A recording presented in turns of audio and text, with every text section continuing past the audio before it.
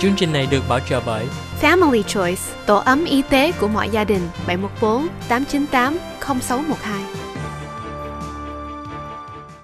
Kính thưa quý vị đã tiếp tục theo dõi chương trình phần thứ ba.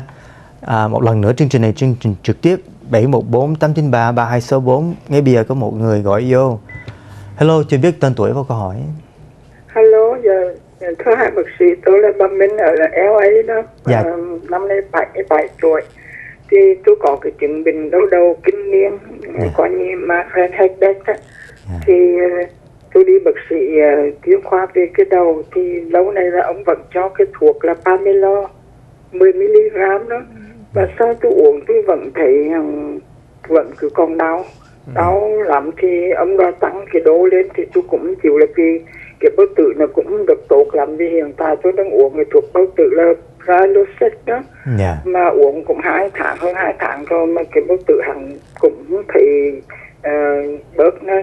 Là một cả thứ hai nữa thì ông bác sĩ chuyên khoa đầu thì có gửi cho tôi đi ở chỗ cái chiropractic để làm giống như là, là therapy nhưng mà cái này có vẻ nặng hơn. Thì làm mấy lâu nay á, thì cái cổ nó bật đau nhưng mà cái đầu nó bật đau.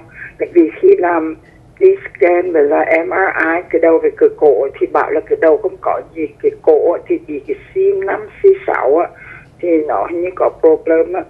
Thì không hiểu vì sao mà cái đầu nó đau khủng khiếp mà không tìm ra bệnh đấy làm MRI ba, bốn lần rồi chứ không phải là một, hai lần đâu thưa bác sĩ. Dạ. chứ chứ cũng chịu Dạ. thua không biết làm sao cái đầu nó đau ngay hôm nay là chiều này là tôi đau tôi phờ luôn Dạ. không dậy nổi nữa Dạ.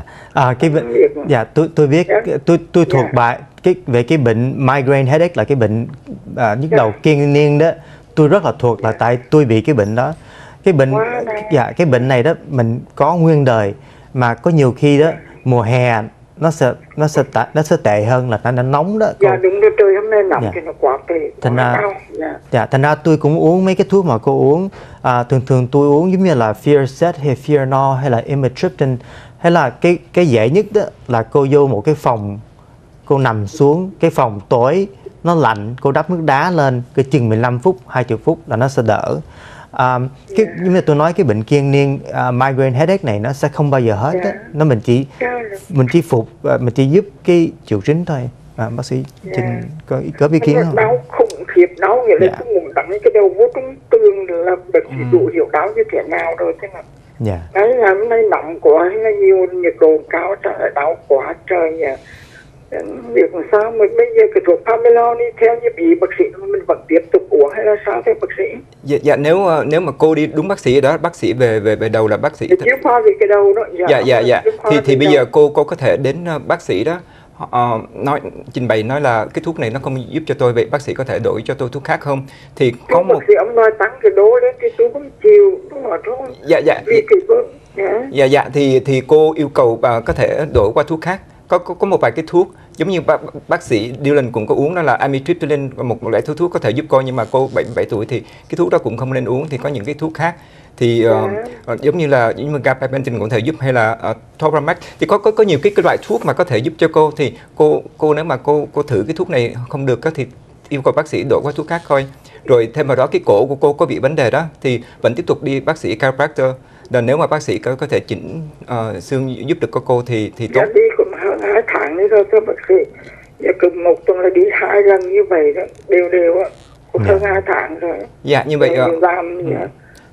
cô cô cô nên trở trở lại bác bác, bác sĩ uh, neurology nha cô nha cô đi đúng đúng bác sĩ uh, chữa chữa đầu có có thể là uh, là có thể là bác sĩ sẽ sẽ giúp cô hữu hiệu hy yeah. vọng như vậy cô Dạ tôi dạ tôi nghĩ bác sĩ, tiếp lời bác sĩ Trinh Định đó là tôi nghĩ cô nên trở lại bác sĩ tâm lý neurology à, đặng có thể họ giúp nhưng mà nhưng mà tôi nói đó cái bệnh à, à, migraine headache bệnh à, nhức đầu kiêng niên đó cũng rất là khó Dạ. rất là khó trị mà mình không có bao giờ giải quyết hết 100% đâu cô. Dạ. Dạ. Dạ. làm sao cho nó giảm thôi Dạ. nếu như mà khi mốt mà đau quá thì mình cũng nên uống thêm Tylenol thưa bác sĩ À, nếu mà thường thường nếu mà đau quá đó à, thì lâu lâu đó mình có thể uống thêm tramadol hay là mình có thể uống thêm giống như là Vicodin nhưng mà mấy cái thuốc giống như là Vicodin hay tramadol nó rất là dễ, dễ bị ghiền đó. Ra tôi mấy cái người này mấy cái người mà bị bệnh migraine headache kiêng niên mà đau quá đó thì tôi thường thường tôi cho cái thuốc tramadol hay là Vicodin ít thôi lâu lâu uống thôi tại mấy cái thuốc này nó ghiền rất là dễ. Dạ dạ nhưng mà nó rất là công hiệu.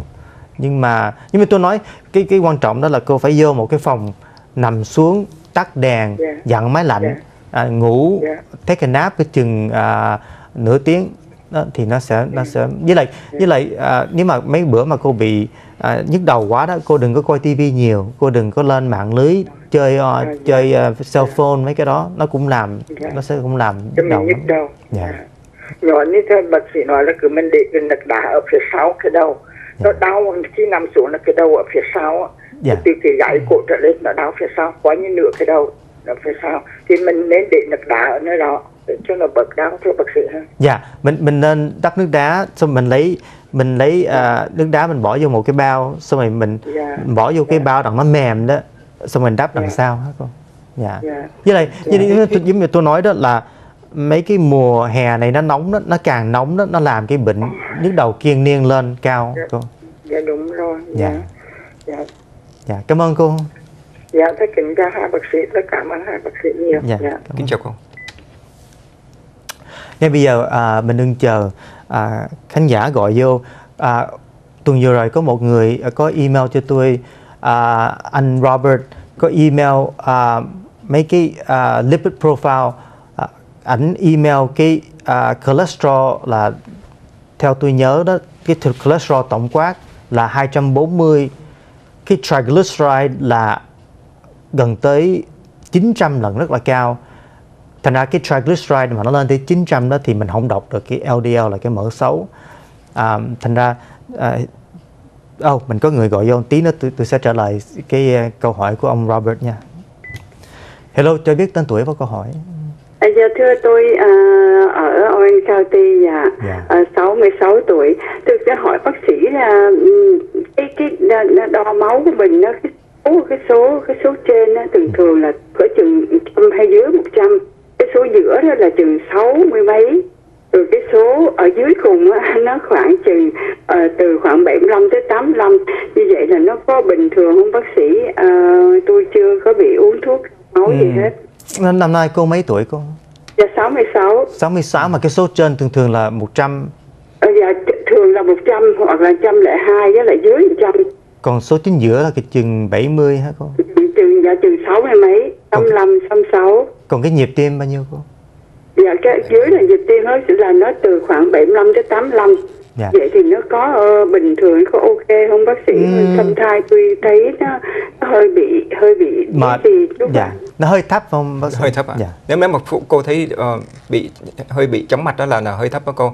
Thì Dạ, nhưng mà nếu mà hơi thấp như vậy thì mình làm sao để mình cho nó cao cho À. bác sĩ không tôi không muốn uống thuốc rồi thì mình mình làm như thế nào để cho nó Dạ. cao lên để cho nó đỡ? Dạ trước trước nhức đầu trước nhức đầu có uống thuốc cao máu phải không cô? Dạ không dạ không chưa chưa bị chưa thấp chưa máu. dạ, chưa- không uống thuốc cao máu không uống- không uống thuốc gì hết không phải dạ không chưa. Dạ. Dạ À, chưa uống thuốc gì hết á.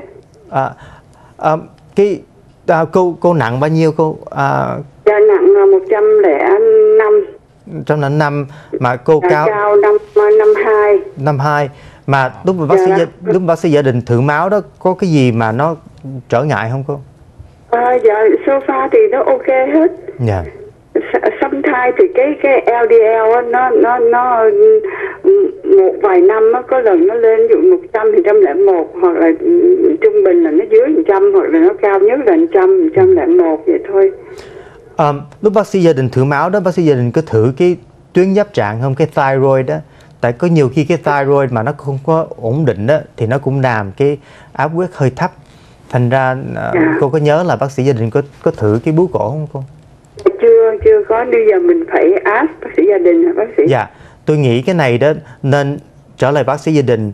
Xin bác sĩ gia đình khám máu tổng quát nghĩa là à, bạch huyết cầu hồng huyết cầu thận gan à, bú cổ à, mỡ đường 3 tháng xong rồi lúc dạ đó có cái đó có hết. Nhưng Dạ. mà cái thyroid thì tôi không có để ý. Cái thyroid thì thì trên cái report nó đề sao bác sĩ này thyroid hay là nó có viết tắt có chữ gì không? Dạ thường thường nó là thường thường cái thyroid nó là TSH là T TSH đó. À, xong rồi á nó có thêm một cái nó gọi là cái free T4 nhưng mà nếu bác sĩ gia đình nói là cái tuyến giáp trạng thyroid nó không sao đó thì thì có thể là cái áp huyết của có nhiều người cái áp huyết nó cũng thấp cũng không gì nguy hiểm hết đó cô À, ngay bây giờ cô cứ giữ telephone ha tại tôi phải dành phần quảng cáo cho mấy cơ sở Dạ, thương dạ, mại dạ đã vâng ạ, dạ. dạ cô giữ ha à, tôi dành phần quảng cáo Dạ. cho mấy cơ sở thương mại đã bảo trợ cho chương trình này